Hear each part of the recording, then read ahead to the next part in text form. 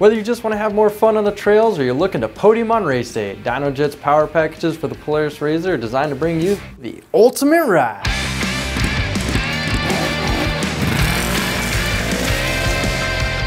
Hey guys, Tony here with Dynojet.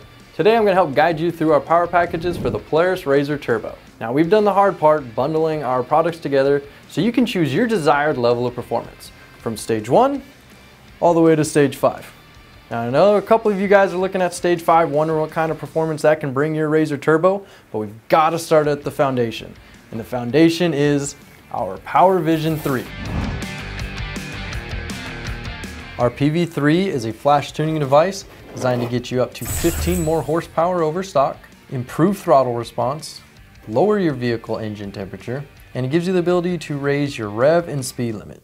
We recommend the PV3 for all applications, but if you want to ensure to get that power to the ground, you want to upgrade to stage two, which adds the clutch kit. Our clutch kit is going to lower your belt temperature, which results in prolonged belt life. Also quicker clutch engagement. The big key with our clutch kit is adjustability. The arms are designed for the weights to be changed out depending on your tire size. You can also adjust the primary spring depending on your riding environment. We recommend the Stage 2 to anybody that just wants to get that most reliable performance out of your vehicle. Now that we got that power to the ground, but you still want a little bit more out of your engine, we're gonna go with Stage 3. Stage 3 is going to add the boost tube with adjustable blow-off valve to the clutch kit and PV3. This will replace the factory plastic piece with this silicone design, so you have more durability with any additional boost pressure you do run a factory turbo and want to guarantee performance, you can go with the Stage 3 Plus, which does add the wastegate actuator, so you can maintain those high boost targets with less duty cycle. We do recommend the Stage 3 and Stage 3 Plus to anybody that's trying to get the most performance out of their vehicle with limited bolt-on accessories. Now, if you race or you're looking to dramatically increase the power of your RZR, maybe Stage 4 is more of an option. Stage 4 is going to include the PV3 clutch kit boost tube. Now we're going to replace the factory J-tube with our silicone design. It's going to give you more durability for the increased boost pressures the upgraded turbo system brings.